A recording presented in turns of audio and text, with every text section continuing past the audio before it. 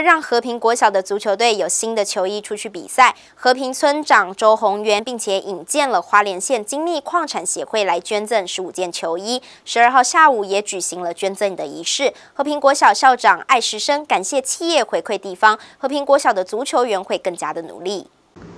和平国小足球队在校长艾时生和和平村长周宏源的大力推动之下，球技每年逐步的成长。由于球队正需要新的装备来踢球，在竞赛的时候能够如鱼得水，在和平村长周宏源的引荐之下，寻求社会资源，并且向花莲县精密矿产协会来帮忙，并且新购买十五件新的球衣给和平国小的足球队员们。和平国小校长艾时生相当感谢企业回馈社会，小小足球队员们是相当的开心。和平国小，哦，先感谢我们。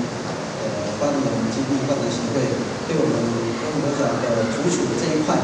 对我们学校那个学生的一个捐赠，也是因为小朋友酷爱足球，在在其他的比赛的像球衣、球衣啊这一部分，确实是有时候我们真的是不大够。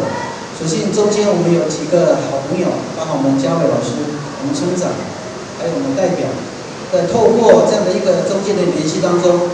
哦，向我们。花莲精密矿产协会里面争取到了小朋友现在穿的这些运动服。花莲县精密矿产协会理事长王志雄表示，协会本着敦亲睦邻、回馈地方的理念，希望小小的球衣能够鼓励队员们能够更加精进。在场的各位足球队的小朋友，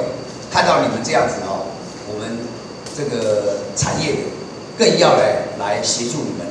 哦让你们每天。能够来这边高高兴兴的上学，快快乐乐的踢球，哦，每年都要进步，应该是每天啊。你们这么有活力，哦，我们也很乐于，也很高兴，哦，有艾校长的这个支持你们。我们村长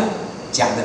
哦，你们要高高兴兴的去踢球。其实胜负不是很重要，身体最重要，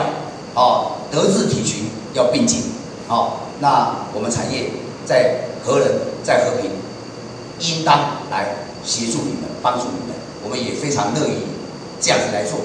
和平国小爱学生同时也致赠感谢状给协会理事长王志雄对和平国小的关心。花莲县精密矿产协会深耕社区多年，每年赞助社区年节活动不遗余力，获得部落民众的赞赏以及肯定。协会理事长王志雄强调，将持续本着取之于私、用之于私的回馈心态，持续做好敦亲睦邻的工作。也希望和平国小的球队们能够更加的努力，为乡里来争光。